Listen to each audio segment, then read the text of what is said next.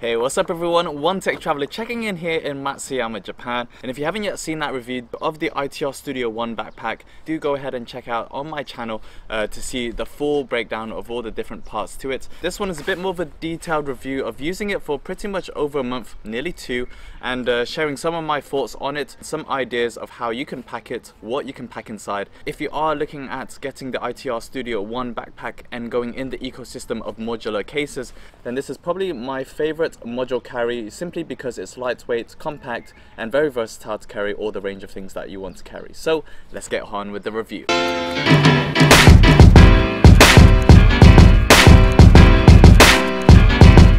Just giving you a quick breakdown of the sling module itself. It is a modular carry as part of the ITR Studio One backpack ecosystem and you can see it has four magnetic points on the back. This attached to the One backpack actually supports up to 35 kilograms of weight uh, for each point so it's very robust and very sturdy. As a carry on its own it feels really nice. The sling module itself is made out of premium materials that gives it a nice svelte feel. It's also got waterproof properties so if you are caught out in the rain just simply carrying the sling module then you don't have to worry all of your stuff inside are going to be protected and it simply beads off. The YKK zippers also enclose in on themselves to give you that uh, further waterproof sealant and then you just have a few more details on the front with the ITR Studio subtle branding on the bottom right hand corner. The front compartment with stitching on either side for reinforced uh, zipping and then on the right hand side you have a strap that you can slide it out from the modular backpack itself uh, but also doubles up if you don't want to carry it around with the strap. And you've got a nice uh, red trim just to keep things a bit more interesting.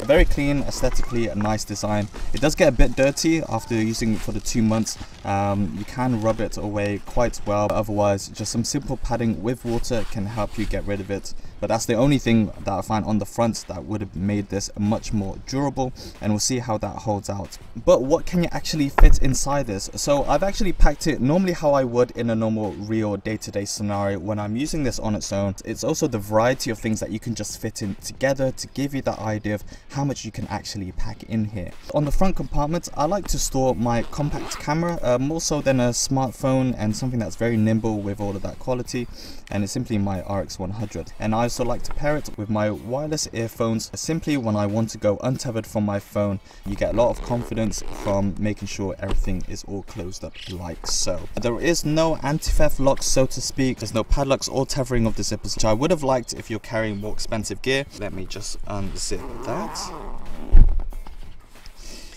And voila, you can see we've got loads of things here. So I'm a bit of everything. I like to read, a game on the go, a bit of photographer, and then also just carry some extended cables and uh, power just to keep me going throughout the whole day. Inside, uh, I have my Nintendo Switch Joy-Con. You can also pack the Nintendo Switch itself with the Joy-Cons attached to it. Very comfortable and plenty of space. So this actually works very nice for it and it's kind of like it was made for it. Um, but it's definitely versatile to fit everything else.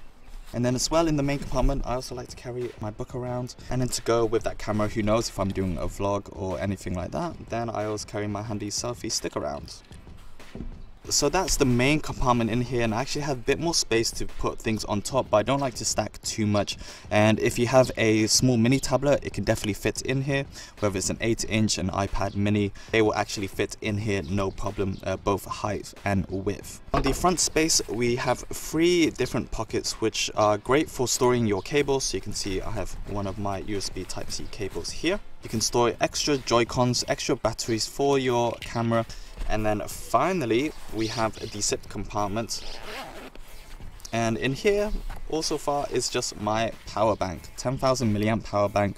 Uh, very nice and svelte classic clean lines that is how I like to store everything in here you can actually roll it all the way so I did that when I'm not using this particular module but when I do for the day then you can simply unroll it it still retains a lot of its structural form because of the way that it's been stitched together. This is everything. So let's go and pack it all in.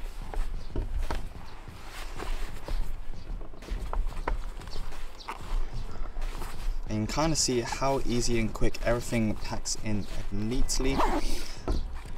You don't really have to do too much of a Tetris game to see how to fit everything. Zip that up and then finally on with the small accessories and Joy-Con grip.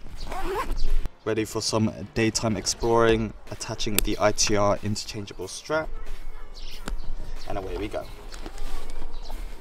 This has really been my favorite module out of the ITR Studio One backpack ecosystem simply because when I don't want to carry around the full pack itself then I can slide this out of the magnetic points and then take it along with me and actually it's big enough to fit all the things that I'd want to carry with me on a day-to-day -day basis without something so cumbersome. Pairing it with the ITR interchangeable strap like so is an essential to making the most out of the individual modules. The bigger question is, should I be looking at something like this if I am not? And to be honest, you get a lot of good value for your money, uh, has some efficient and very smart pockets in here whilst being big enough to carry a lot of your things, very thoughtful compartments and zippers inside and out whilst giving off a very clean aesthetic exterior. The only thing is on the back you do have the magnetic points, however since you're mainly going to see the front space then it shouldn't be too much of an issue. Uh, I definitely haven't found any issue simply because it's always uh, paired towards my back so you don't see that. Over the two months or so that I've been using it, the one backpack has been my day-to-day -day, everyday carry and I simply like sliding this out and carrying something more nimble and fitting everything in. Being waterproof gives you that peace of mind when it's when you're caught out in the rain. It simply beads off the surface whilst having the enclosed uh, zippers internally uh, means that you've got that all-round proofing. Something that I would have liked is the interchangeable strap being a bit longer if I wanted to carry it more messenger style but for someone who likes a good fit around my body uh, I found this to be no problem but for other people uh, it's just something to bear in mind. You do get some reasonable buffer of having it sway around your body um, but this is definitely more of the tighter fit. Uh, the good thing is that they are interchangeable so if you have straps of your own that are more comfortable then you can simply uh, do it that way otherwise I hope that ITR Studio make that small adjustment in the future. So thanks a lot for joining me. That's the review of the ITR Studio Sling module. If you want to see the rest of my detailed reviews of the modules, go ahead and subscribe to my channel by clicking the link down below and exploring the rest of my stories around travel, lifestyle and tech. I'll see you in the next video, but until then, keep being awesome. Right, let's go on an adventure.